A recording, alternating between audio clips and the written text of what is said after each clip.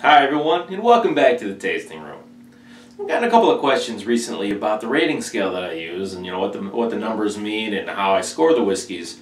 And uh, I realized that I never really explained that, so uh, I, I, think it's a pretty standard uh, rating scale. But uh, but I'm going to use this video here to uh, to explain what all that means.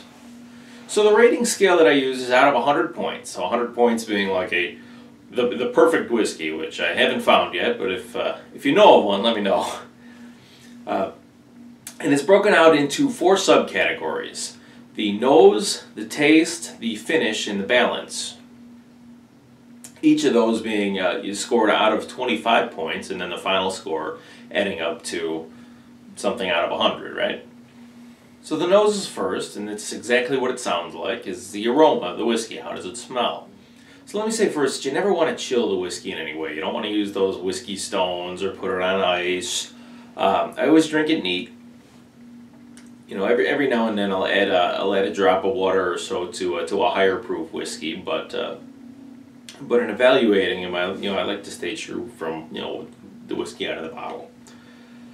Uh, you know, the reason you never want to chill the whiskey is because it, uh, it traps the aromas. You actually want to warm it in your hand a little bit helps to release those aromas. And what I'm looking for is, you know, you know, is a nice, is a, is a nice consistent complexity, right? You know, you know, very simply, what do you smell? You know, is it nutty? Is it, do you smell the honey? The, uh, the, do you smell oak, vanilla? You know, are there, are there different spices? You know, and it's based on the, uh, the complexity of the nose and how well those aromas work with each other. Um, that, uh, that, that I'm giving it the score for. I mean, every whiskey you're expecting something a little bit different from, like a uh, in Islay single malt Scotch. I'm you know I'm looking for some nice some nice smoke, right? For a uh, for a sherry aged whiskey, it's going to be a little bit sweeter.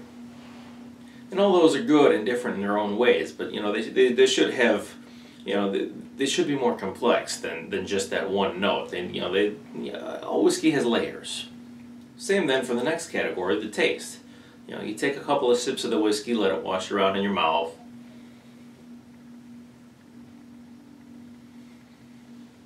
You know, evaluate it. How does it feel on the palate?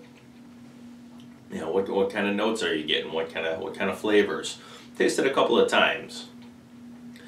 Again, a smokier whiskey should have more than just smoke. There should be different layers, different flavor profiles beneath that. Maybe maybe it has some, you know, some some plum or some you know some darker fruit notes underneath. You should still have those spices. One one particular flavor shouldn't dominate the the whole flavor profile. The next category is the finish. Again, also out of 25 points. Um, you know, the finishes you're looking. I mean, you're you're looking for how, how does it finish? How does it how does it leave you? You know, how does the uh, you know, what's the what's the mark that the uh, that the, the whiskey leaves on your on your palate after after it's gone? Is it is, is, is it spicy? Does it linger for a while? Um, you know, in, uh, in in Kentucky, this is uh, they, they actually call it the the uh, the breath that you take after uh, after you, you take your, your whiskey. You get that, that that next rush of flavor. They call it the uh, the Kentucky hug. I think it's the aftertaste of the whiskey and how you know do you uh, do you have those spices on the palate? Is it is it bitter? Is it you know does does, does it leave a bad uh, bad taste in your mouth? Maybe you know maybe it didn't age properly. And then finally there's the balance. And I look at the balance in a couple of different ways. I look at uh, you know I look at how how well the uh, the nose kind of ran into the taste, ran into the finish. You know how uh, you know how uh, how well each of those flavors uh, you know, related to one another, the aromas. You know, I'm looking at the uh, the, the mouth feel. Was it was a was a nice full bodied whiskey. Was a little bit thin, uh, like some Irish whiskeys I think can be. And then most importantly, it's the uh, it's the balance of those flavors. You know, was uh, did the smoke or did the sweetness dominate the uh, dominate the palate and uh, and didn't allow for for any of the spices to come through. Um, you know, uh, one of the uh, one of the more well balanced whiskeys I think I've ever had was uh, uh was this one here, the uh, the, the Gargus. This is their uh, the Madeira cask. You know, be beautifully well balanced, smoky, sweet. You know, had some spices. It was just a beautifully balanced whiskey. So all those scores are, you know, for those four subcomponents are out of 25 points, and then you know we add, we add them up and we get something out of 100. So you know, think of it as a percentage of a perfect whiskey, if you will.